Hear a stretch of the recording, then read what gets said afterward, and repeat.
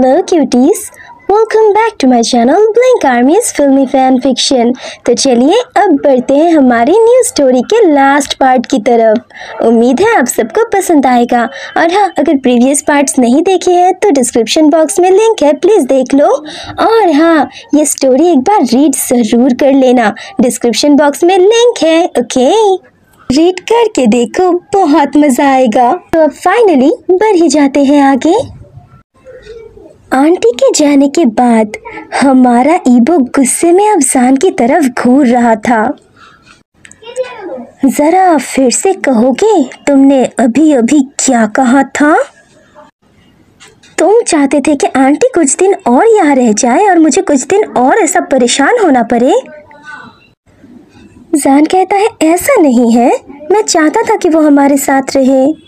मैं उन्हें बहुत पसंद करता हूँ। वो कितनी अच्छी है। ईबो जान की तरफ़ एक पिलो फेंक कर मारता है। पर जान ईबो का आर्म पकड़कर उसे अपनी तरफ़ खींच लेता है। फिर ईबो जान के पास बैठ गया। वो दोनों एक दूसरे की आँखों में ही देख रहे थे। जान कहता है, मुझे तुम्हें कुछ कहना है। ईबो कहता है हाँ कहो। जान ईबो का आर्म छोड़ देता है और कहता है, नहीं, कुछ नहीं। जान खड़े हो जाता है और कमरे से बाहर निकल आता है। कुछ देर बाद ईबो अपना हेयर कॉम्प कर रहा था।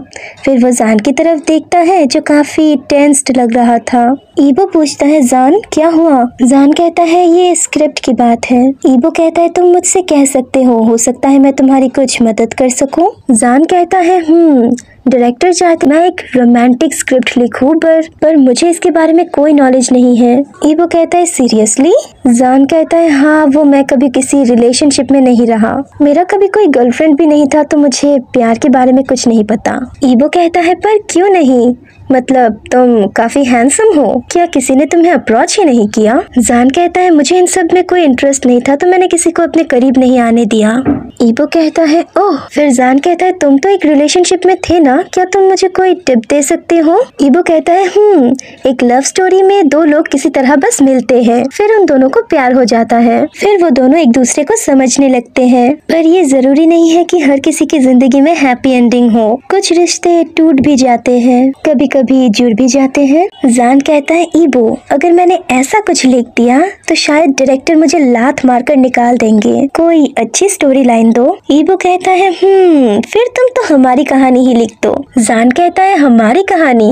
हम्म ये बुरा आइडिया तो नहीं है। थैंक यू एनी टाइम अब जान डायरेक्टर के सामने बैठा हुआ था। डायरेक्टर कहते हैं शाहजान जहाँ तक मैं जानता हूँ, तुम कभी किसी रिलेशनशिप में नहीं थे। और तुम्हें लव लाइफ के बारे में कुछ भी नहीं पता। तो मैंने डिसाइड किया। जान कहता है, सर सर, ऐसा मत कीजिए, मेरे पास एक स्टोरी लाइन है। मैं आपको डिसअपॉइंट नहीं करूँगा। डायरेक्टर कहता है, तुम बस मेरा वक्त बर्बाद कर रहे हो। मुझे ये जॉब किसी और को देना चाहिए। ठीक उसी वक्त ईबो वहाँ आया।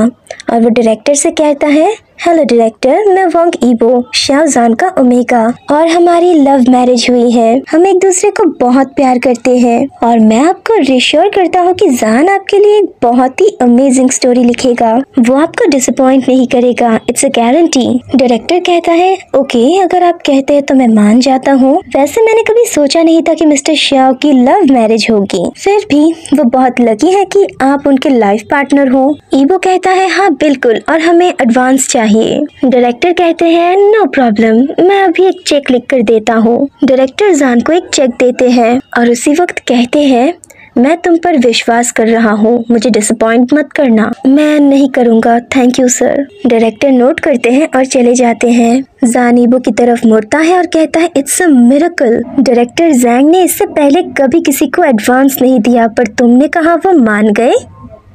दैट्स ग्रेट थैंक यू ईबो कहता है, हम सिर्फ़ कागज़ी तौर पर मैरिड हैं, पर फिर भी मैं तुम्हारा हस्बैंड हूँ।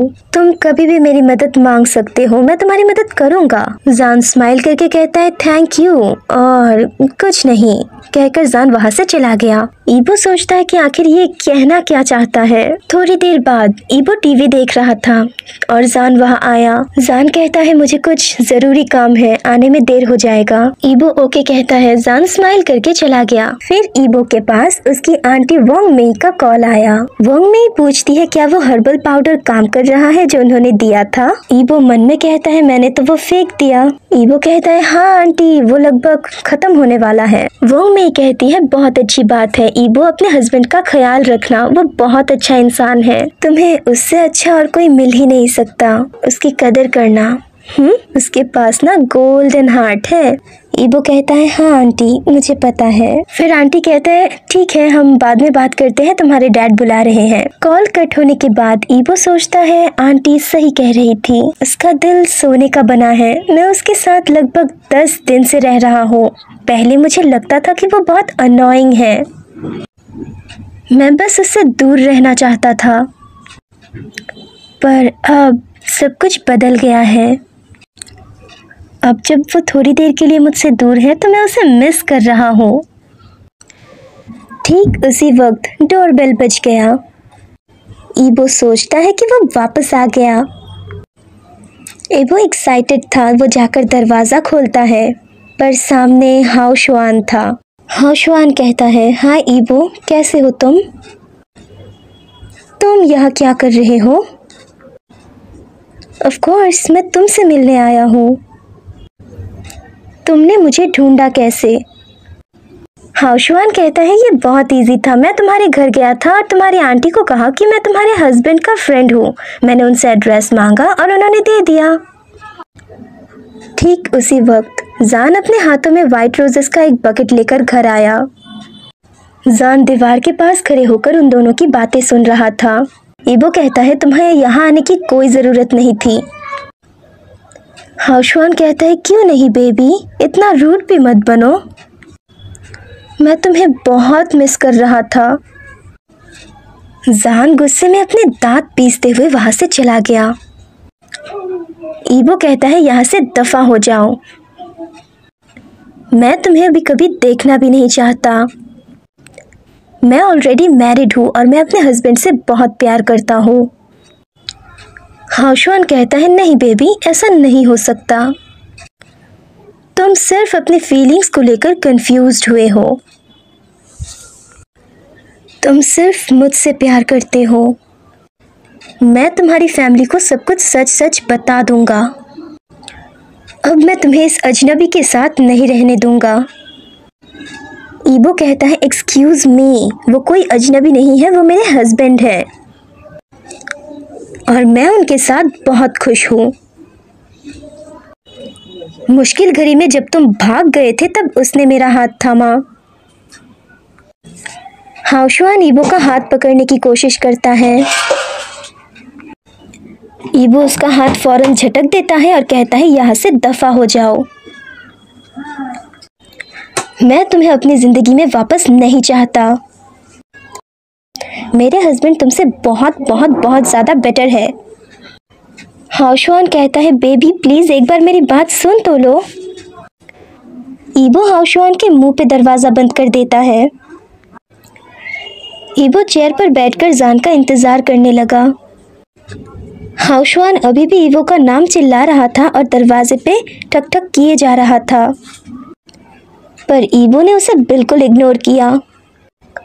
कुछ देर बाद हाउशवान वहाँ से चला गया। लगभग ग्यारह बजे जान घर वापस आया। ईबो कहता है, जान, फ्रेश हो जाओ मैं तुम्हारे लिए डिनर बना देता हूँ। जान सिंपली नोट करता है। वो लोग बस साइलेंस में खाना खा लेते हैं। फिर जान अपने कमरे में चला गया। ईबो को उसने एक बार गुड नाइट विश भी नहीं किया। ईबो साय करता है और काउच पे सो जाता है। अगले दिन, ईबो जान के पास आया। जान पीसफुली सो रहा था, पर ईबो उसे जगाने लगा। जान स्लीपी टोन में कहता है, क्या हुआ ईबो? जान, उठ जाओ, डैड हमें घर बुला रहे हैं। जान लेजिली उठता है और बाथरूम जाता है फ्रेश होने। चिरैन हाउशवान और वोंग मेंग लिविंग रूम में बैठे हुए थे। ये हाउशवान फिर आ गया। इसने कहीं सब कुछ बता तो नहीं दिया।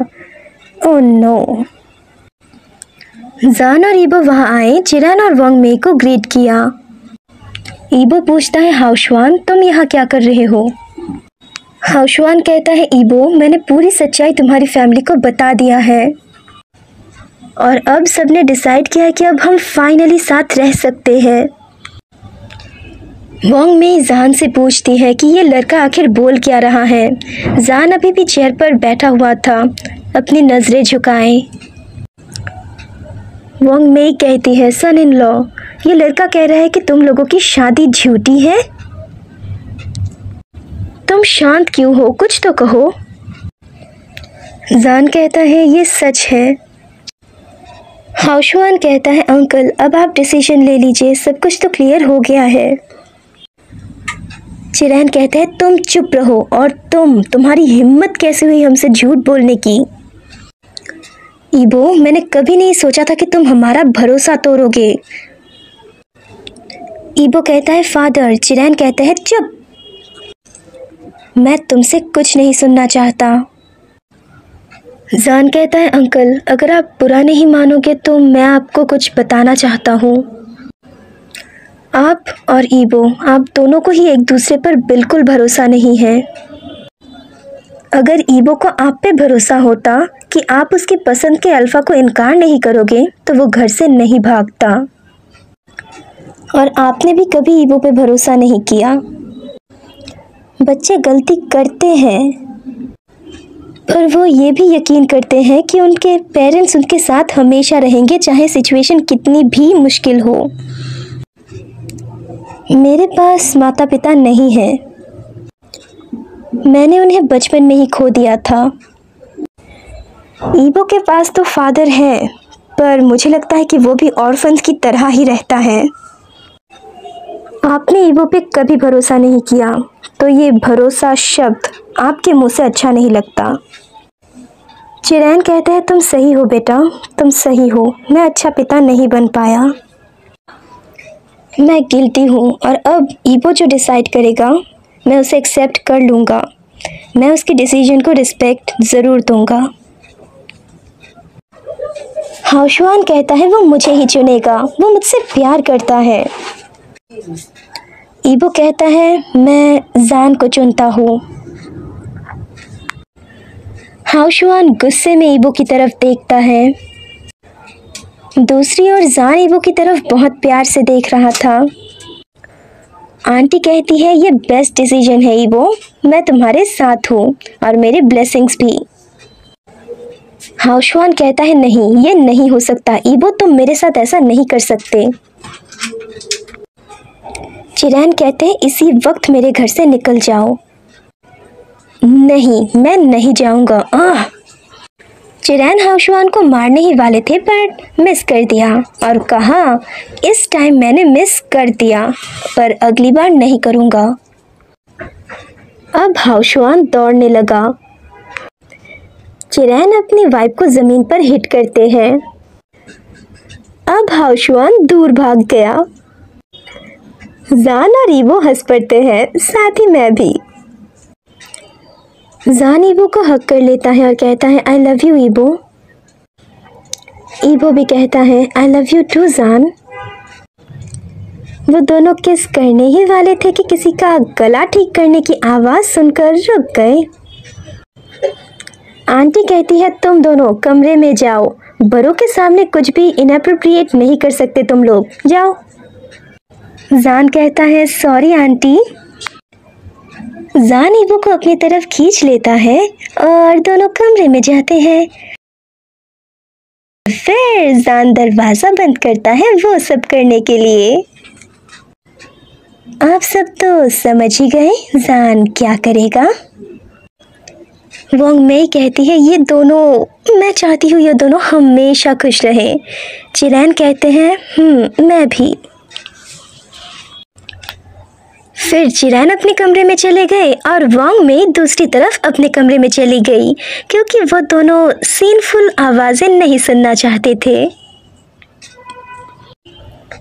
तो माय क्यूटीज क्यूटीज बताओ आप सबको ये क्यूट सी लबी डबी सी स्टोरी कैसी लगी? मुझे तो बहुत ज़्यादा मज़ा आया, बहुत पसंद आया। मैं हमेशा से ऐसी स्टोरी एक्सप्लेन करना चाहती थी। भाई, मुझे तो बहुत ज़्यादा मज़ा आया। उम्मीद है आप सबको भी अच्छा लगा हो। अगर सच में अच्छा लग गया तो एक लाइक तो कर ही दो प्लीज़ हाँ डिस्क्रिप्शन बॉक्स में लिंक है। बहुत मज़ा आएगा रीड करके देखो। आप सबको तो पता है ना, मैं कितनी सारी गलतियाँ करती हूँ। और फिर उसे एडिट करने में जान निकल जाती है, फिर भी दस बारह मिस्टेक्स तो रह ही जाते हैं। सॉरी क्यूटीज मेरी वजह से आप लोगों को बहुत परेशानी होती होगी। पर मैं अभी भी सीख रही हूँ। उम्मीद है कभी अच्छा कर पाऊँगी। Okay my sweet sweet cuties मिलते हैं एक और ब्यूटीफुल स्टोरी के साथ। तब तक के लिए bye cuties bye bye bye